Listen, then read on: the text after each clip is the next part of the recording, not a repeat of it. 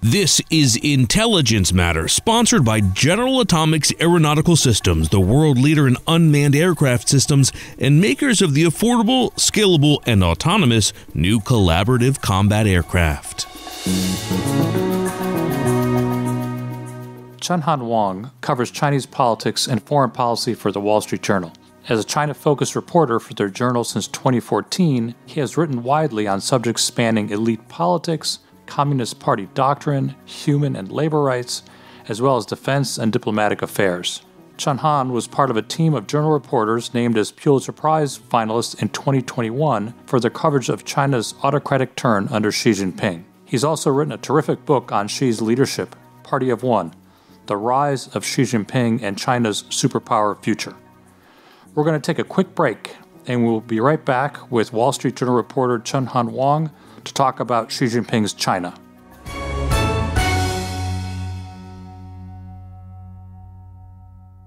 America must not fall behind in air dominance. That's why we need the Collaborative Combat Aircraft by General Atomics Aeronautical Systems. These new unmanned combat jets are affordable, scalable, and autonomous, and they partner with traditional combat formations to let American and allied pilots see first and act first. Our next generation jets will let Washington retake the numbers advantage in the skies. For collaborative combat aircraft, rely on General Atomics Aeronautical, the world leader in unmanned aircraft systems. Learn more at UAV.com. Chun Han, welcome to the podcast. Well, why don't we start with you telling us a little about yourself and, and your work as a Wall Street Journal reporter in China? What's that like? Sure. Thanks, Andy. Uh, great to come on the show. Um, yeah, so basically, perhaps to do a bit of a personal biography, I joined Dow Jones, the company, in 2010, first in Singapore with the Newswire side, and then I started writing for the Wall Street Journal uh, after they merged the two newsrooms, the Newswires with the Journal newsrooms around 2011, 2010. I'm sorry, 2012. Uh, and then I was given an opportunity to go to China uh, in 2014. I moved to Beijing, and then from there, I spent five years uh, covering all sorts of things, you know, general news, um, breaking news events, for example, you know, natural disasters or some industrial accidents, uh, even a cruise ship capsizing in which more than 400 people died, you know, traveling around the country, getting a chance to see the real China, so to speak. Uh, I was also asked to cover uh, politics and I, you know, started to do more and more of that as my colleague who used to cover that subject moved on to other things.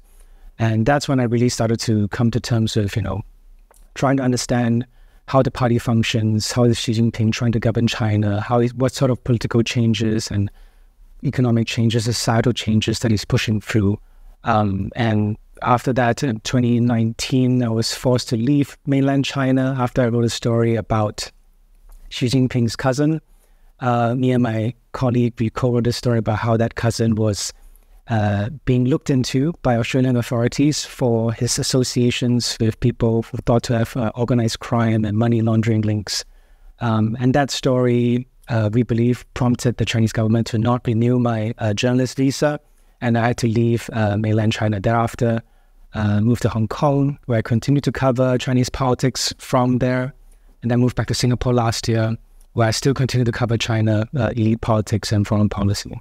John, you know, I mentioned the, the, your book in the introduction, uh, Party of One. So before we talk about the one, which is Xi Jinping, can you give a high level give a high level discussion about how the party functions in China today? I know it's intricate and complicated, but maybe yeah. you can boil that down a little bit for our listeners. Sure. Um, the sort of Cliff Notes version of it is basically the Communist Party essentially is the most dominant political force in China uh, in Xi Jinping's own words, the party leads everything. Um, that spanning everything from you know politics, economy, uh, society, legal affairs, education, military, just about every facet of public life, every facet of how society is not supposed to function. The party must be in charge. The party must have a say, uh, even if the party is not entirely interested in getting into the nitty gritty of a particular issue they must have the you know veto power. They must have the final say in deciding how things should be done. So that's the level of dominance. We're talking about party members all the way from the very top leader Xi Jinping down to the grassroots, down to the villages, you know, down to the most remote corners of China. uh, there are party members. The party just announced a couple of days ago that its membership has reached more than 99 million members, which, if you think about it, is bigger than quite a few countries in the world. You know, so that's the scale you're talking about in terms of how far uh, the party permeates through Chinese society. So let's let's talk a, uh, about Xi Jinping. Can can you give us a, a, a little bit of background? You know, how did he begin his rise through the the levels of the Communist Party?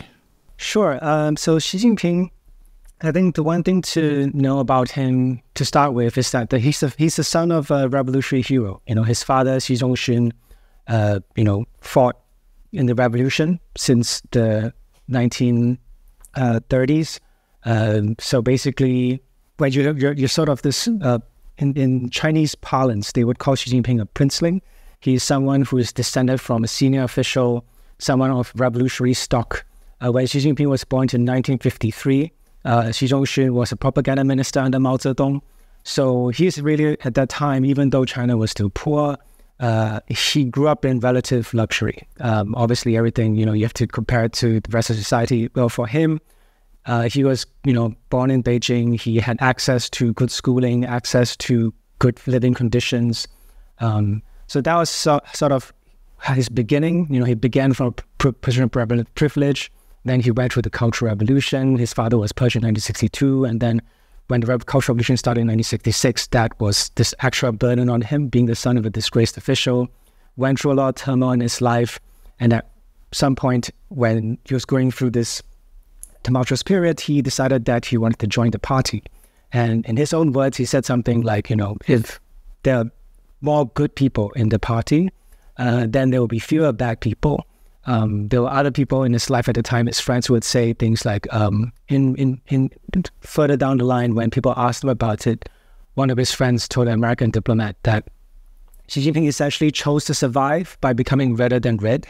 You know, he wanted to uh, test himself, commit himself, and you know, he sort of bought into the idea, even though the party at that point in his life had given him nothing but you know disruptions and pretty severe ones.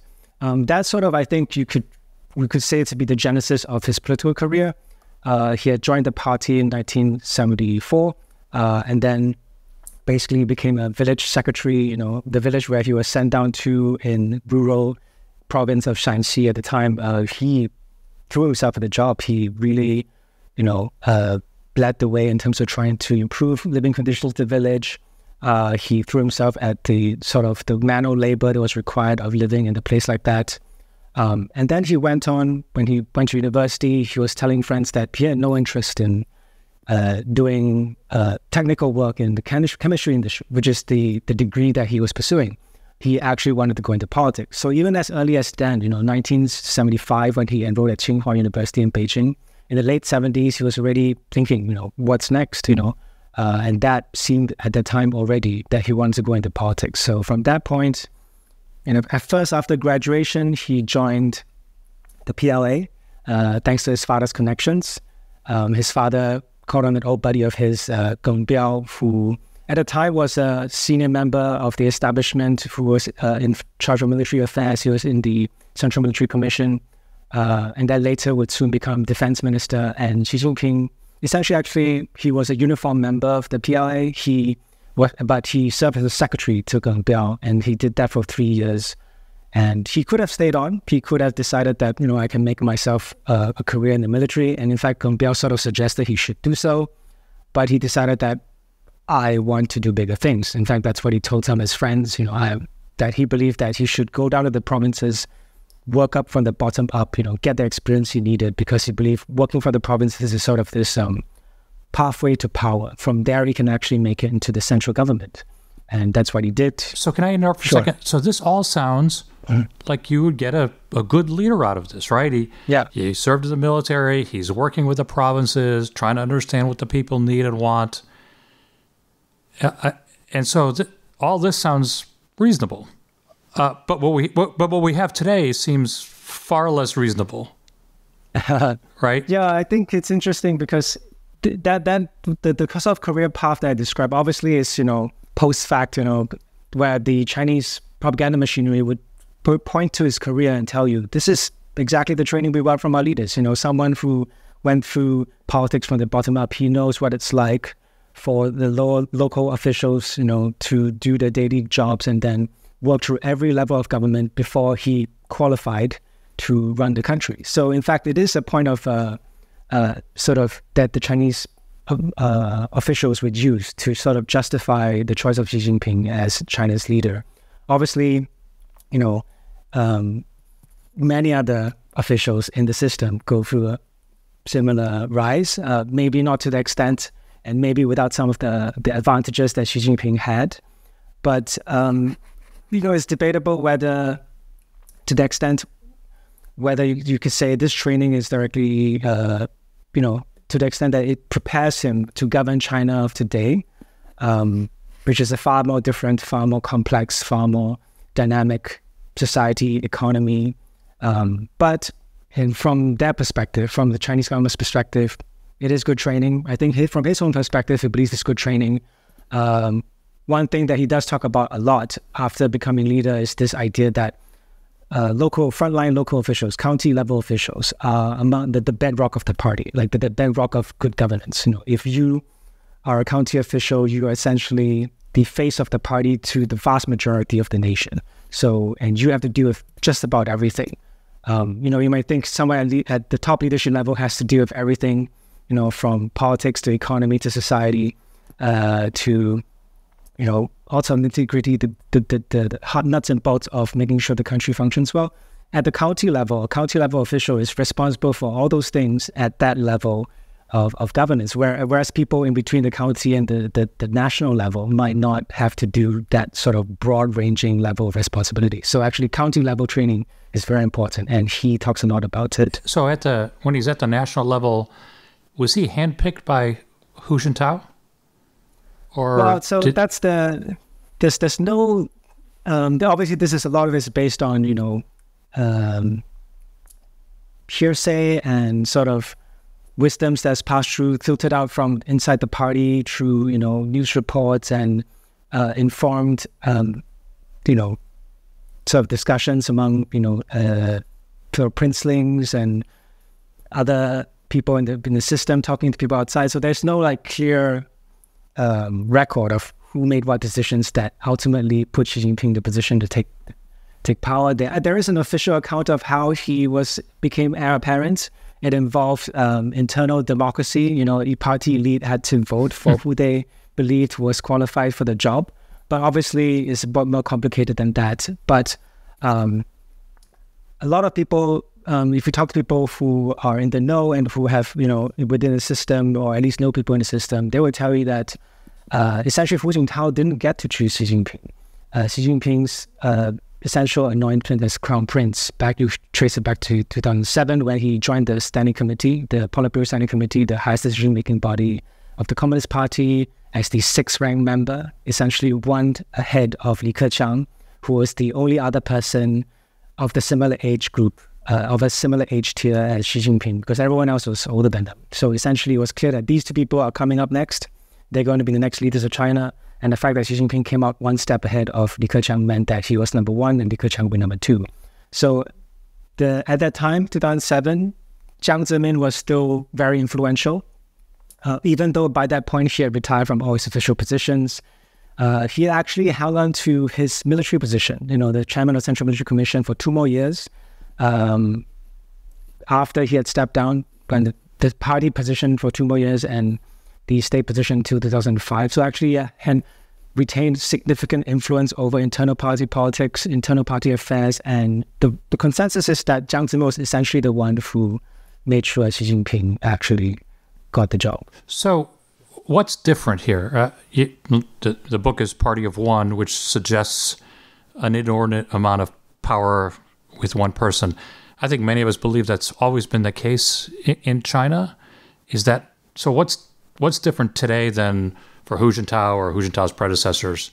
So I think it's quite clear that over the past decade or so, since Xi Jinping took power in late 2012, there's been a very concerted effort to centralize decision making uh, authority with the top leadership, and then within the top leadership, you centralize decision making power within one person.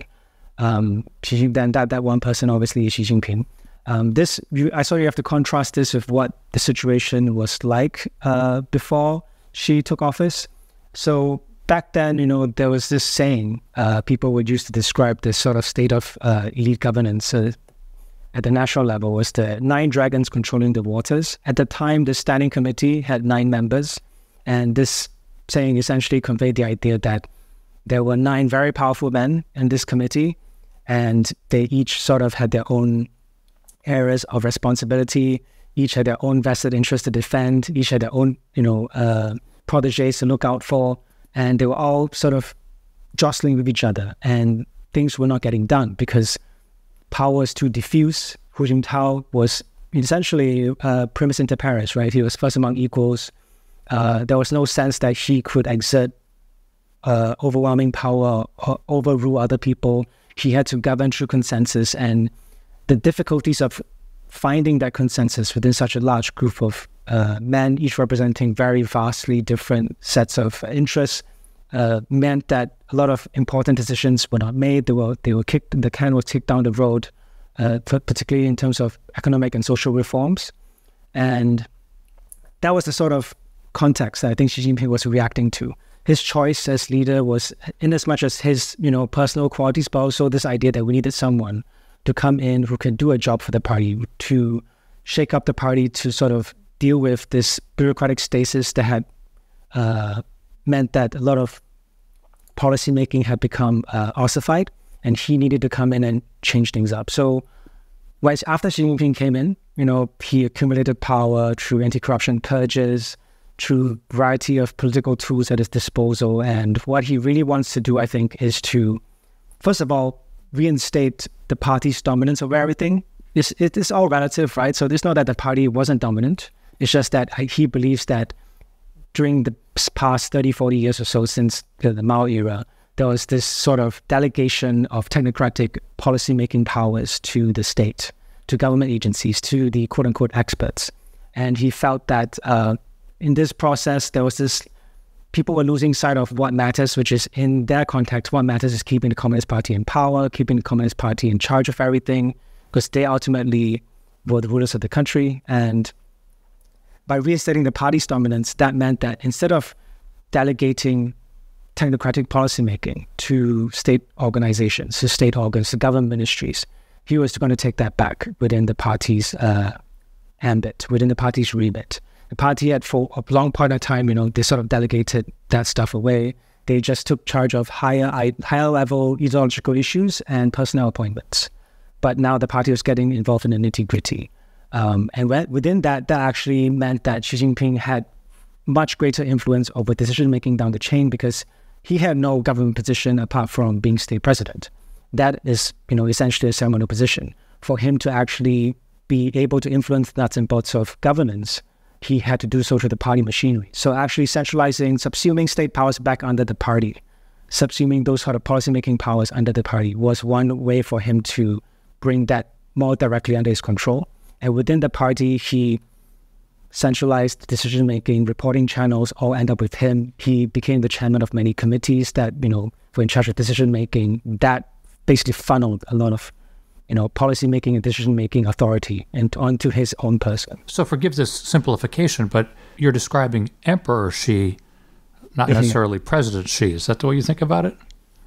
I don't necessarily think about it that way, but I can see why people will make that comparison. Um, in fact, um, before Xi Jinping took power, there's a Japanese journalist who published a book that sort of, uh, as we now know, uh, his prediction was wrong, but he actually saw, sort of uh, guessed that Xi Jinping might turn out to be China's, uh, communist China's weakest emperor. Um, because, you know, he, yeah, it's, I guess it's an easy comparison to make, it's an easy analogy to draw, but uh, at the time, actually, his prediction was that Xi would not be very powerful. As you now know, that yeah. turned out to be wrong. But I think you know it is it is it is an analogy a lot of people understand. Uh, Chinese people, especially, having you know a lot of them are very au fait with imperial history. You know, they enjoy watching period dramas. They uh, enjoy reading about their own imperial past, and you know, in fact, people within elite circles they will tell you that you know one one reason why Xi Jinping seems to be so intent on remaking the system in his own image and sort of do what he would call as institutionalizing Communist Party rule to entrench Communist Party power in China for the long term is because he doesn't want to be the last emperor of Red China. Um, you know, that there's this sort of pathological fear that you know you're in charge now, and if things end under your watch, then you'll be, you know, uh, sort of sinner of history. So I think that's one fate that he wants to avoid. So now that we're talking about sort of internal dynamics in China, clearly they're facing a variety of internal headwinds, uh, economic headwinds, financial things of that nature. Do you think that Xi is prepared to deal with those? Does he have the, the right mindset to deal with those, or could those be his undoing? So this this requires sort of um, value judgment from an outsider, which I think is very difficult uh, to answer. But I think one way you could look at it is how they look at this issue, and I think um, they definitely think they've got the wherewithal. They definitely think they have the tools and they have the right talent. They have the right um, system. In fact, the political system to deal with these issues. Um, Chinese officials and the propaganda machinery are very fond of pointing out flaws in Western democracies. Um, you know, every sort of public misstep by, for example, the American president is jumped upon and sort of served up as an idea like, look, you know, Western democracy isn't all it's cracked up to be. There are problems with it. They're dysfunctional. Uh, whereas in China, our authoritarian system gets things done. We've delivered the economic miracle over the past few decades. We're now ready to take the next step. Obviously, you know, the situation now is a bit more difficult. It's rather challenging in terms of economic front, severe uh, problems that they haven't resolved for the past few decades that they now have to come to grips with. Uh, in terms of demographic slowdown, uh, economic slowdown, um, structural problems with how the uh, economy is functioning that they need to address in order to even, you know, progress to the next stage of development, break out the middle income trap. Uh, but they would argue that being in a system like this, um, they're in a better position because they can take make decisions and follow through. They can implement them. They're in a far better position to uh, push through decisions, reach certain decisions, and then enact them. That will be their argument. Um, and I, as you look at sort of the way they talk about the issues at hand, um, obviously this is for public consumption, so they have to project confidence. But you, at the same time, the way they're going about things they acknowledge the depth of the challenge, but they also don't seem to be too concerned that you know they eventually can come around to dealing with it. We talk to officials and uh, Chinese economists privately; they do express a certain level of confidence, uh, even if they recognize that the current situation is fairly uh, challenging. I think fundamentally, when they look at themselves and they look at other possibilities outside of China, um, they come to the conclusion that you know we're not doing too bad. You know, we, we could we could be worse from their perspective, and the tools that they have at disposal, it may it, it may require some tough decision making. It may require some pain uh, that they need to go through. But I think they believe they're in a position to go through that process, endure that pain, and come out through the other side in a better shape. So, does this feed into, in your mind, does this feed into this super assertive foreign policy that we're that we've seen from Xi Jinping and and, and the PRC and, and um, how, how does this fit together? So I think there is a connection in the sense that they do see themselves as um, a great power, and in the sense that they have a you know they might even argue it's a superior system to Western liberal democracy. Uh, but fundamentally, I think you know, as Chinese diplomats like to say, diplomacy is extension of internal affairs. So one key driver, I think, for this transition to a more forward-leaning form of foreign policy comes from Xi's core platform, um, which is the China Dream. You know, the China Dream of national rejuvenation, or you know, f- to draw a comparison with a more familiar American slogan, "Make China Great Again." uh, essentially, basically, under Xi Jinping, China must become a nation that is respected globally. It will not play second fiddle to anyone. It will not behave deferentially to other big powers. Uh, and, and Xi Jinping, in his old words, would talk about this in terms of being able to look the world in the eye. You know, basically, we're on the level, we are essentially equals with anyone out there. And this sort of core impulse, I think, drives this desire to sort of command this respect, earn this respect, and sort of intrude their assertive behavior, project this sense of being a big power. You know, it's it's not good enough just to have that uh, economic clout and military potential. You need to sort of flex it for it to convince anyone, everyone else, and especially yourself that you are there. And I think uh, this this sort of what we some people are calling the wolf war diplomacy, you know, this very aggressive, abrasive style of engaging the outside world. I think that is one way to express that. Uh, it is way to uh, assuage domestic expectations. When you build your political platform on the very core idea of making China a great respected power, people at home must see how this plays out. People must must see that diplomats, you know, carry themselves in that way. And you know, when, for example, when the U.S. does something that's deemed offensive to China, like selling arms to Taiwan or criticizing China's human rights record, they expect their representatives on the global stage to push back very vigorously in order to show that you know we will not take being you know second guessed by other countries. We will not take being bullied or you know questioned you know, we are as good as anyone else out there, if not better. So why should we treat, why should we be treated like that? I think that's one of the key impulses that drive this uh, transition. We're going to take a quick break, and we'll be right back with Wall Street Journal reporter Chun Han Wong.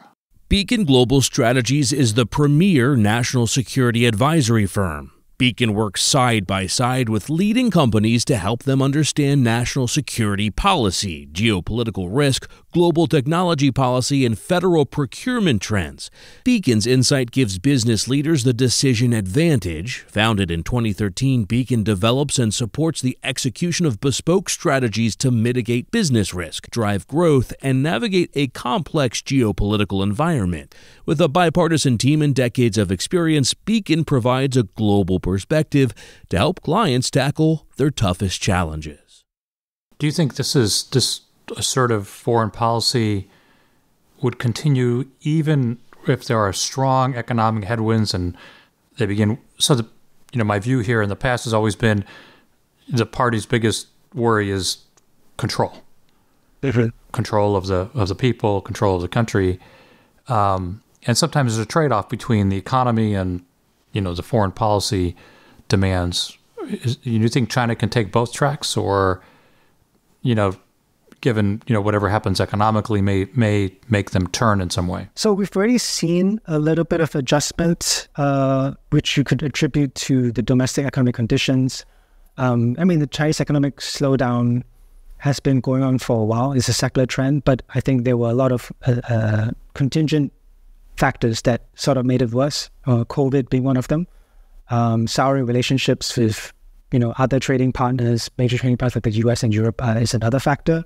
And I think that that second element is what sort of informed this adjustment. I wouldn't call it a shift uh, in a significant way, in in sense that they're not they, they're not changing how they see the world. Uh, as a result of this, more like they they're adjusting how they deal with the outside world in this period of domestic uh, economic difficulty. So we saw China sort of try to repair relationship with the U.S. Xi Jinping went to San Francisco last year, uh, met with President Biden and sort of attempted to stabilize the relationship, right? Even if you don't expect the relationship to improve significantly, you are trying to draw a line and trying to set a floor and uh, uh, what had been a relationship that was sort of threatening to spiral out of control. And I think for them, that was a way to make sure, okay, we let's not do anything that would make things worse because, you know, uh, a much more challenged and much more difficult and fractious U.S.-China relationship would have direct impact on the Chinese economy in terms of you could prompt the US to take far more drastic trade measures, uh, punitive measures to that would damage the Chinese economy. So, and you might turn off the business community, foreign investment community, which is already that the level, the confidence in that that that segment is already fairly uh, battered. Um, basically, I think they wanted to make sure the external environment is as stable as possible. You might not get it to where you want it to be, but let's make sure that it doesn't get any worse. And I think that's sort of been informing how they adjust their the way they engage with the Americans, engage with the Europeans, with its closer neighbors in Southeast Asia. That the domestic uh, considerations actually play a significant role in in changing their approach. Uh, but in the long term, I don't think there's going to be a chance of a significant change because um, a lot of people, I think, in China do buy to this idea that China is on the up. Uh, Xi Jinping describes this as um, Dousheng which is, you know, the East is rising, the West is declining. Uh, although there is a caveat when he talks about this, which is uh, the West is still fairly strong in certain areas. But fundamentally, the trajectory is clear in their minds that it's going this one way. And if we stay the course, if we knuckle down and do the right things and do the difficult things, we will get there because the stage is set for us to succeed. Um, so if that from that perspective, I think a lot of people do buy into this idea, buy into this notion that the historical trends are on China's side. And with if with this sort of mental mindset, it's very difficult for them, very difficult to see them adjusting, uh, because you know what they're doing is commensurate with what a, in their minds what a great power should be behaving, which is to sort of flex its uh, authority, uh, do things that would make others pay deference to them, command the respect of the international community. So these things are commensurate with what they uh, should be like if they are this power destined for global preeminence. Um, so if that, as long as that belief is remains, and I don't see any reason why it wouldn't, uh, it's hard to see them fundamentally readjusting this form of more assertive foreign policy. In your book, you you touch on the potential of China as a future superpower. Um, so, what stands in their way? You know, what are the what are the challenges that that you see? I think there's two main challenges, and one of it's really talked about before. Uh, I think that well, fundamentally, I think you, you can look at it in terms of domestic governance challenges and foreign policy challenges. Um, in terms of what what might get in the way of them achieving their broad macro goals. Uh, domestically, I think we talked about the centralization of power in the Xi Jinping, right? So uh, in the book, I actually document some of the pitfalls from, you know, this very uh, high degree of centralization that Xi has enforced. Because um, in terms of policymaking and implementation, there are costs, there are uh, sort of backlash and difficulties that are sort of created when you centralize power to this degree uh, in, the Chinese system. And I think one example I have pointed to when asked about this is um, how China basically tried to unwind its zero COVID policies. Um, you know, in the Chinese system, career advancement is very much tied up with your your practical your the ability to deliver on your practical goals and the, the sort of direction set from the top, whether you actually enact them or not, whether you achieve these uh, KPIs that are set for you that has direct bearing on advancement. And one of the KPIs that emerged very clearly during COVID was uh, no outbreaks. You, if you are a local official, you must make sure there are no major outbreaks in your district, in your area, your county or city, wh- wherever they may be. Uh, and if there is a sort of significant uncontrolled outbreak, you can kiss your job goodbye. Um, and we saw quite a few officials who were accused of negligence and dereliction of duty when outbreaks sort of emerged in their areas, people were punished.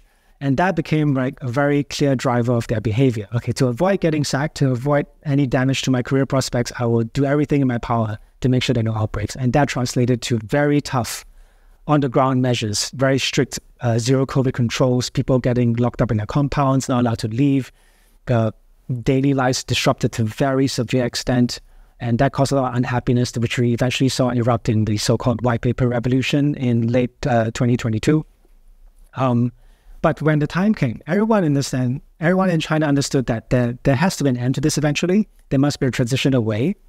Um, and there was language, there was language from the center emanating like we need to prepare for, you know, uh, exiting this uh, zero COVID strategy, uh, which meant you need to do things like prepare hospitals, prepare stock up medication, uh, ramp up vaccination uh, levels, especially for vulnerable people like the elderly. But everyone knew what needed to be done, but no one was doing it because I think, first of all, local officials have limited resources, they have limited manpower, limited money, uh, limited basically a headspace to deal with all these issues. So what do they defer to? They defer to the thing that they know would make sure they won't get sacked, which is to maintain zero COVID. But very few of them did anything to prepare for the exit, even though everyone knew it had to be done. And I think this stemmed from a high level of centralization and fear within the system imposed from the top. People are worried about consequences of uh, negligence, dereliction of duty, disobedience, uh, co- contravening central party policies. And in that mind, the safest thing to do is to keep doing zero COVID because they know the direct consequences of that and avoid doing the other necessary thing, even though the center was starting to make noises about needing to switch to that. Um, and that's why we saw, I think, this very centralized, fear driven uh, governance system basically stumble on itself. It, it failed to make the necessary shift that everyone knew needed to be done because at, at every level down from the center, people sort of saw the safest thing to do from a very narrow perspective, from their personal career perspective, is to stay the course, to avoid doing things that get them fired. So this is this is an Achilles heel in this type of system. Right. Uh, you could say so. I think it is. It is a, it definitely a flaw. It is definitely a, a, a sort of nature of the authoritarian top-down system, where yes, they can be very decisive in doing certain things. They're very quick because of the nature of uh, how things are uh, structured and how it operates. You know, the Chinese system, they like to call it mobilization uh, approach to governance, where the center issues a call and the people lower down to respond to that call. And when, you know, the system functions properly, things can move very quickly. But there are also problems where a system like that, when you go to find the extreme, uh, it cannot, it gets very um, bureaucratic. Things get, you know, various pathologies within the system, they sort of take control. And I think we saw that happen with the att- attempt to move away from zero COVID. That sort of it was very rigid for a long time, and then finally, when it became clear to everybody, okay, this actually is what we want to do now, and it suddenly dismantled very quickly. So when they want to move, they can be very decisive, but getting there can be very difficult. So let's uh, let's talk a few minutes about Taiwan. And when I saw you in Singapore we talked a little bit about you know 2027, which is you know that's made the rounds, and the the Davidson window, so-called Davidson window, about time to invade Taiwan. But I thought you said something really interesting and insightful about Xi's personal calculus, or maybe a way he might be thinking about this. Could you share that? Sure. So, um, first of all, I think this 2027 timeline, we need to clarify what it means. Um, basically the 2027 the date this, the significance of this date is that it's the 100th anniversary of the PLA um, which I, the Chinese have said like they want to deliver certain outcomes they want to deliver they want to show that they've modernized the military to a certain extent it is eventually it is part of this greater goal by the by the, the middle of the 21st century they want to become a great socialist power which entails you know advancements in economic social military front and so that, that, that is part of a longer set of longer, uh, longer term goals. But 2027 being a key anniversary year, I think that basically the rhetoric is built around this idea that we need to deliver um, a modern, take significant steps towards modernizing the PLA. Um, and as you saw in recent events, the recent purchase of two former defense ministers and other senior members of the PLA, you could argue that perhaps they are not as close to this goal as they'd like to be, given that corruption, despite more than a decade of uh, anti-graft campaigns still remains a serious problem within the military. Um, but yeah, I think that that's that's actually what that date means. So there has not been any public association with 2027 with the idea that Taiwan must be taken back. Um, not to say that it won't happen. Nothing is impossible. But I think it's, we have to be clear about what that, why the Chinese talk about that date and what it means to them. Uh, are other sort of this talk associated with Taiwan, I think primarily came from outside observers who extrapolated, you know, rightly or wrongly, that there is a implicit uh, Taiwan timeline in it. Uh, in terms of Xi Jinping's view on Taiwan, I think yes, he does talk about Taiwan in a much more assertive way than some of his predecessors. Um, we, know from talking to people who've been in rooms with him, and like he, when he talks about Taiwan, he doesn't need a script. You know, he's very he, he's ready to talk about this issue from from the gut, so to speak. You know, he he knows the issues quite closely. He when he was in Fujian, and he was there basically the, the closest province to Taiwan. He dealt with a lot of Taiwanese people, business people who are investing in China at the time. So it is an issue that he's familiar with. Um, he doesn't need notes, talking points to discuss it. Um, but whether that translates to this willingness to take decisive action, I think that there's there's a lot of steps along the way that you need to take before you actually get there, right? Um, in terms of uh, decision to actually mount a forced food takeover, I think that is something that they, in, in, in their words, actually, when they, publicly when they discuss Taiwan, they say they don't prefer it. This, this they don't rule it out, but they do say their preference is for peaceful unification um, for a very good reason. Because if you decide to take Taiwan, you're not just talking about the military challenge, which is supremely difficult, um, which I'm sure you understand, uh, given the, the, the practical the practicalities of mounting what would be the largest ever amphibious invasion in human history, uh, but also the difficulties in pacifying uh, territory as big as Taiwan. The party has gone through a very difficult period trying to pacify Xinjiang, pacify Tibet, and even now, you could argue there is an attempt to sort of quote unquote pacify Hong Kong uh, through the, the gamut of national security laws and national education. So it is a major challenge to try to pacify Taiwan if and at some point you do manage to take over the island. So all these challenges will be, you know, factors that any leader has to consider. Uh, but also, given going back to the, mili- the scale of the military challenge, there, there's a huge risk of this not succeeding. Um, I'm not sure if I mentioned to you during our meeting that uh, I, I, would like to use the example of this Chinese TV drama uh, about the Kangxi Emperor. And there was a scene that I was very shocked by, which is, you know, the Kangxi Emperor wanted to mount a leader expedition himself to the country's northwest, you know, to pacify the rebels there. And uh, one of his ministers counseled him, it's like, um, you know, you should not lead expeditions yourself unless you have a 100% chance of success you're absolutely assured of success. Because if you fail, uh, you could bring down the entire edifice. Your personal authority will be challenged. The the entire legitimacy of system might be questioned, um, and it could all fall apart from that. So I think from in Xi Jinping's part of it, he has to consider factors like this. He has to consider is it is it a good idea to potentially bet the house uh, and potentially lose everything on a project that is highly fraught, very risky, has a long tail in terms of things you need to do after, even after you succeed, and potentially at the cost of your great achievements on the mainland. You know, he definitely wants to build a legacy. We know he cares about history and his place in history. You know, having done all these things with 1.4 billion people, is he prepared to willingly put himself in a position where all that could be jeopardized by trying to reclaim a territory with 23 million people on it? So, never say never.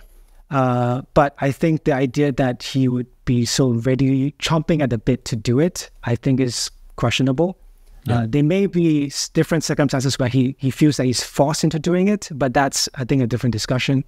Um, but yeah, I think in terms of if it's purely a decision of his making, I think at the, at the current point in time, it's very hard to see him making this choice. So you, have studied clearly Xi Jinping, and so let me just two more questions. One is, how do you think Xi Jinping, um, what's he doing with Russia? What's that, that, uh, you know, we love each other forever kind of approach to things? What's behind that? Well, just, beca- think, just because yeah. the enemy of my enemy is my friend kind of thing? That seems to be the case. And I think that actually explains quite a bit of the relationship. Um, there is obviously uh, no love lost between the two of them. Um, within well within living memory, they fought a short border skirmish in 1969. Um, there is a long-standing distrust between um, Russia and China, and I think that's sort of in some ways inevitable for any two countries that share such extensive border uh, and has uh, overlapping interests.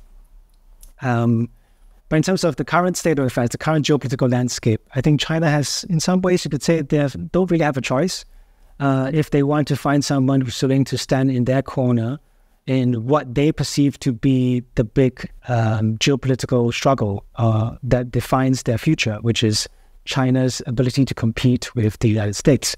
Um, if if they recognize that to be the core goal, which is to um, engage in a vigorous competition and in their minds hopefully overcome the United States and uh, surpass it in terms of global preeminence, then they need as many uh, substantive partners in this project as possible. And I think from from their perch in Beijing, if you look out to the rest of the world, there isn't really anyone else apart from Russia.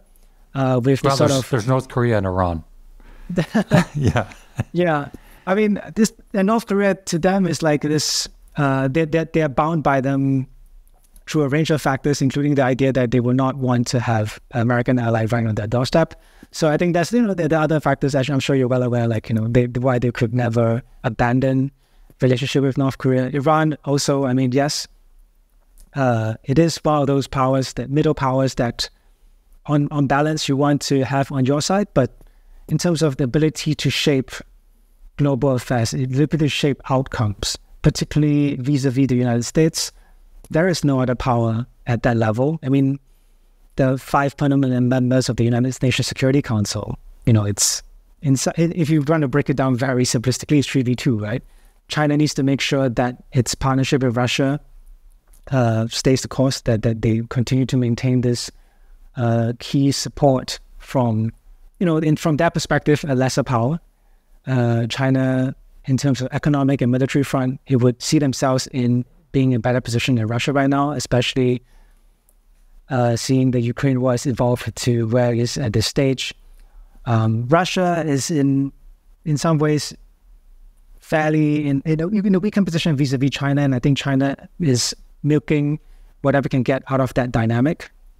Um, but I don't see, basically, fundamentally, I don't see this picture changing. This partnership will remain as long as it's useful to China. And given what we know of the geopolitical landscape for the foreseeable future, it's very hard to see this dynamic changing. And as long as it remains, Russia will, be, will continue to be an important part. So that's all very sobering. So let me just we can finish on one one question, and that's and I want from Xi Jinping's perspective, is there a way to coexist with the West, or is this an economic, technological Cold War, and there's going to be a winner and a loser? How does how do you believe Xi Jinping sees this? Um, it doesn't necessarily have to be zero sum. I don't think from his point of view that like victory doesn't mean you, you, you know, uh, eliminate the Western threat to China or it's like this achieving this crushing victory of some kind, um, however you define it. But I think uh, fundamentally, China needs to be in a position from uh, Beijing's perspective where it's you know it's it's preeminent position is not questioned. I think they want they do they do see a future for themselves where they sort of are brought back to this uh, leading position on the global stage where their opinions are sought, where their uh, interests are looked after, uh, or at least not infringed upon. And right now, I think they're in a stage where they think as long as the United States is the world's number one power, sees itself as the world's number one power, this sort of balance, a, a sort of equilibrium where China is in a strong, potentially uh, number one position, it cannot simply cannot happen because the other side would try to, you know, change that change that uh, dynamic. So as long as that's the case, I think China would constantly have to sort of push against or you know struggle against in, in their more martial rhetoric against against the West in trying to defend what they have and push for more. Um, I don't think necessarily it means like that they, they have to defeat the West in that sense. Um, but I think they, they do want to achieve a certain equilibrium where they get to more or less call the shots. They, in the sense that they, they don't have to listen to the West when deciding things of global import. Uh, the West would have to take their opinion very seriously, ideally even defer to them on some issues. Um, but I don't think it means like China gets to decide everything because in some ways I think Chinese are not that interested in running global affairs or becoming this global policeman the way that America has been doing. The Chinese have so far, we've seen no interest in providing security um, guarantees. You know, they're not getting security or militarily involved in the biggest conflicts around the world today. Um, Israel Palestine, they've said the right, all these, uh, they provided rhetorical support for Palestine. Uh, they criticized Israel. But fundamentally, they're not putting troops on the ground. They're not trying to offer any security guarantees to uh, ensure certain outcomes emerge. Um, and I think this instinct would remain in place for a long time. So as long as this remains the case, I think uh, China will be a very different sort of global power that the United States has been in terms of its willingness to use and project power. Chun Han, thank you so much. What a really enlightening uh, discussion. Thanks for being on the podcast. Thank you so much. Um, it's a pleasure to talk to you, Andy. That was Chun Han Wong. I'm Andy Makridis. Please join us next week for another episode of Intelligence Matters. And you can always reach us at intelligencematterspod at gmail.com.